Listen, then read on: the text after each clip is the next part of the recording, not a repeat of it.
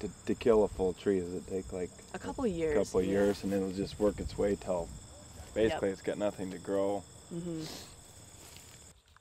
Researchers at Michigan State University are studying the Phomopsis fungus and its devastating effects on the Colorado blue spruce.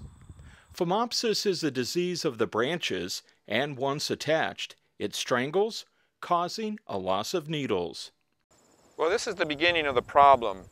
Most of the branches on a tree are supposed to be alive, but you can see that these are dead, and they're not going to grow anymore. This is where a tree would grow from, is the tip. So when the branch loses its needles and the tip dies, then you have a very serious uh, problem.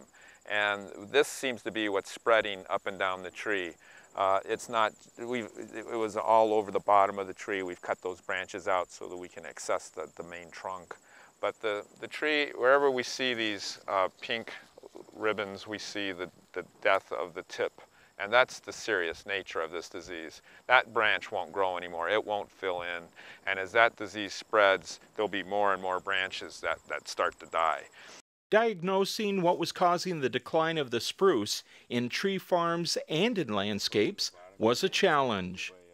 We were looking around and saying, well, this tree is dying of that, and this tree has this, and this tree has that. But all of a sudden, once we found the Phomopsis cankers, and they're very hard to see, and they're on these branches closer to the main trunk, way down inside, we started realizing why the needles were falling off and why the branches were dying at that point.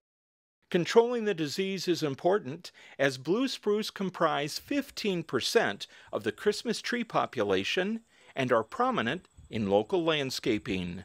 This is not an invasive species at this point. We haven't found anything uh, new. Uh, we just think the trees have become susceptible for some reason to this disease, to this pathogen, to this fungus that has always been here. And why, why would the trees all of a sudden become so susceptible? We're, we're not sure. But if we could find something that could perhaps improve the health of the tree, we think that the trees need, at this point, just need a little bit more help, a little bit more health in order to combat these fungi that have been around for decades. Michigan State University Ag Bio Research, changing the face of science.